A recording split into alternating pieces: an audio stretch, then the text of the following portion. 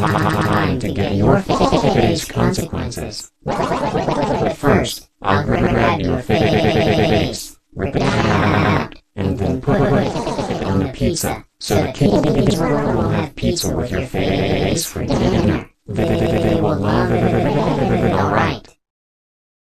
Let's talk about face effects, but you won't get it if you keep being a.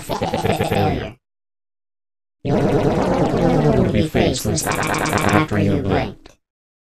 Why does it smell like dead bodies in here? Is that you smell like dead body? Or maybe, some other dead here?